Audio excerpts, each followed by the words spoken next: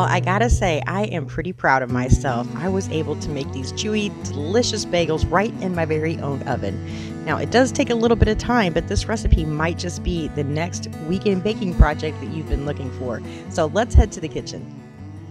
Hello and welcome to my kitchen. My name is Cheri, and as of the time of this recording, today is National Bagel Day. And I'm not gonna lie and tell you that I've made bagels before because I haven't, but we're gonna give it a shot today. so I am getting started with one and a quarter cups of warm water, um, which I've already warmed up, and I am using my Instant Read Pampered Chef thermometer. And it is 106. So it's perfect. Now, a lot of people will tell you you can just stick your finger in it and judge it that way. It should be a little bit warmer than bath water, but I don't trust myself. I'm not a very good judge of things. So we are adding in one and a half teaspoons of sugar, and then I'm also adding in a seven ounce package of yeast. Then we're just going to give it a stir.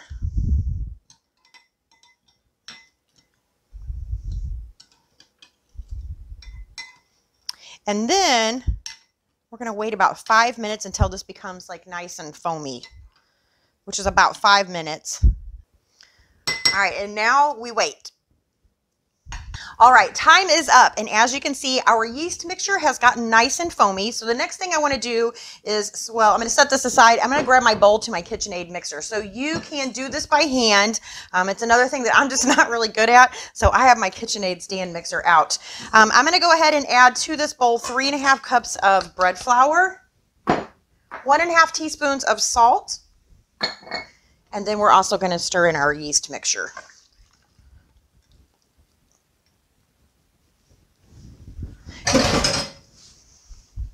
So there's several places giving away bagels today. Brussels, Bruegels, Bruegels bagels. I don't know. I don't have a bagel place next to me. This is why I have to make them myself. So I'm just kind of scraping my sides down. I just want to try and get this all incorporated. Excuse me. Einstein Brothers, they're giving away bagels. Thomas, Thomas Breads. So if you guys have any of those next to you, go grab yourself some a bagel.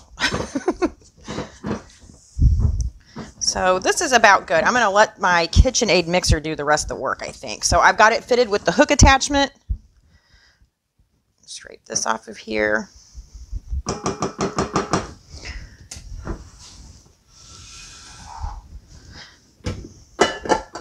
All right. That is it. So we want to knead this for about seven minutes. Boy, I tell you, there's a lot of waiting in bagels. wait five minutes. Now we got to wait seven minutes. And then we're going to have to wait for them to rise. And then we'll probably have to wait for them to rise again. All right, seven minutes to go. Okay, so we just passed the seven minute mark. Now, I will say it might be better if you knead your dough by hand. this is a really dense dough and it damn near knocked my KitchenAid off the counter. So I kind of had to sit here with it like this. But nevertheless, it saved these arms some work. So the next thing I want to do is grab a little bit of olive oil. I've got a clear bowl here. So we're just going to oil our boil, oil our bowl. Did you hear me say that backwards? I don't know what I was saying. And then we're going to go ahead and place our, it up, take our dough, kind form it into a little ball here.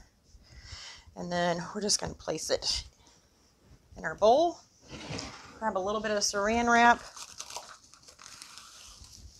Oop, I got this going backwards. We're going to cover this and then we're going to let it rest for about an hour to two hours until it has doubled in size. So cross our fingers. this works. okay, it's taken the better part of two hours for this to double in size and finish rising. But I think it's ready now. So I'm to go ahead and take saran wrap off and I'm to do something that drives my husband crazy. he thinks I should be gentle with the bread for some reason, but I always like to punch it down. I mean, a lot of the recipes say to do that. Yep, I just punched it again. He's watching. I'm to sprinkle a little bit of flour on here, I think. And then we just want to divide this into eight pieces. At least that's what the recipe says. See if we can get them kind of even. All right, so I cut it in twos and then in half again and then half again and then one more time. I don't think these are all going to be the same size, but that's okay.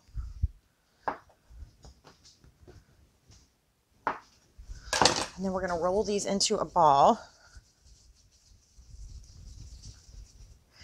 And then we're just going to poke a hole in the center and hopefully stretch these into a bagel shape.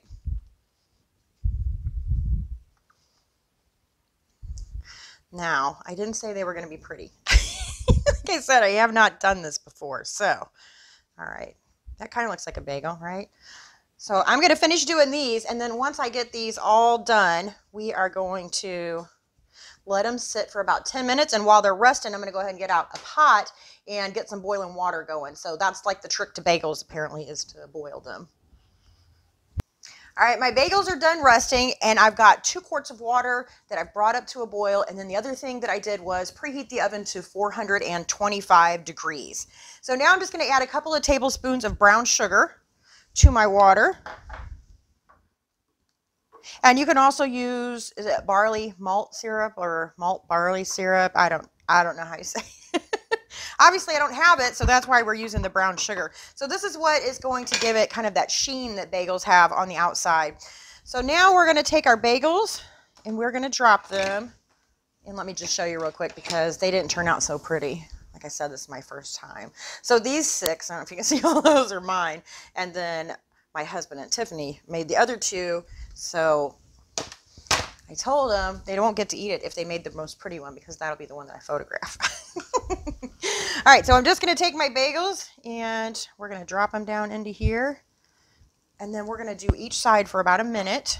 It says like one to two minutes, so I'm going to do a minute. I got my handy little timer here. And I got these on Amazon, and they are great. I've got them in all different, I don't know what the word is, not denominations, but so 1, 5, 10, and 30. This one's like 1, 3, 5, and 7. So they're all different and they're just, you just flip them. So these were, I have so many of them. They're great. Like for Thanksgiving, I had, you know, one timer set for my turkey, one for my stuffing, and so on and so forth. So I find those really handy. All right. And you can see on the bottom how much time you have left. So we got about 23 seconds and we're going to flip these over. I think they might be a little prettier after I boil them. Maybe it'll smooth out some of the wrinkles. I don't know. Mark and Tiff got theirs pretty smooth. Mark said his hands were wet when he did his, and so I think that's probably what helped. All right, so our timer's getting ready to go off. So this is cooking the outside. So I'm just going to stop it, and then I'm going to turn it back on and flip my bagel. Well, maybe it is still going to be ugly. I don't know. we'll see. So the other thing I have here is I have some everything seasoning for bagels and whatever else you could you put this on bread or I don't know what all you could put it on. I have to think about it a little bit. But anyway, I picked it up for my bagels. And then I've also got a little bit of an egg wash here. So it's just egg and water mixed together. We're going to brush that on after all of these get done. And then we'll put our toppings on. Still got a half a minute. Boy, time goes slow. It took forever to get this water to a boil because I kept staring at it. So, all right. Find a spot on here to move it over to. I just grabbed the biggest baking sheet I could find. I'm going to see if I can't flip it back over to the other side because that side looked prettier. All right, so I'm going to turn this off. And all I'm going to do now, like I said, is, let me see if I can hold this up. And I'm just going to brush this with my egg mixture, or my egg wash, I should say. I probably got steam going everywhere in the camera.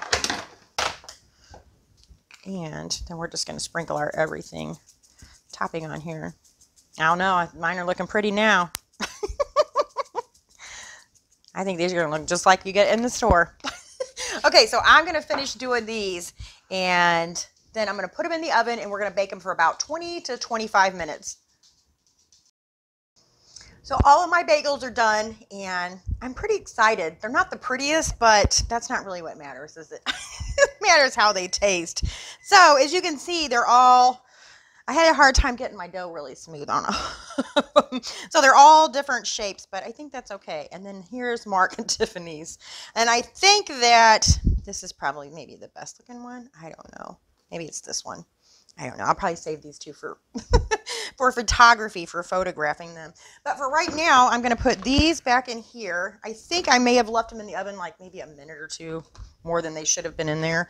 So by placing them in here and putting this lid on here, it'll trap the moisture in and then it'll make them a little bit a little more moist on the outside instead of so dry. So here is the moment of truth. And I probably really should toast this, but I don't know. Feels like a real bagel.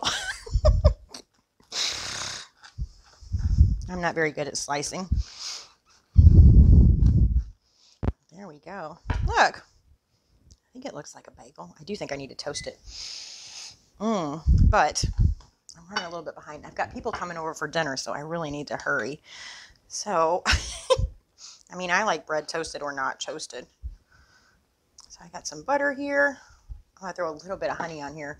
If I had time, I was actually going to mix together some um, butter and honey and make some homemade honey butter, whipped homemade honey butter.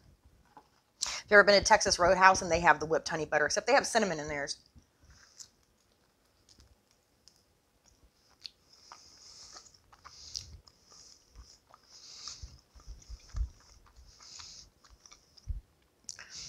That's pretty good. of course, I'm really enjoying the honey and butter on here, but Hold on a second. I need another bite.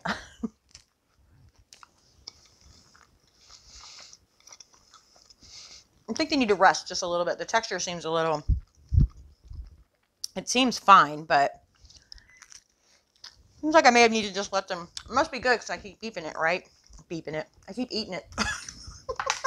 anyway, I think they turned out good though, all in all. I think next time I probably wouldn't work my dough as hard as I did with the dough hook and when I was trying to shape them. And I think I would have been able to get a better shape on them. But all in all, I think they turned out really good. So anyway, try it for yourself. Let me know how it goes.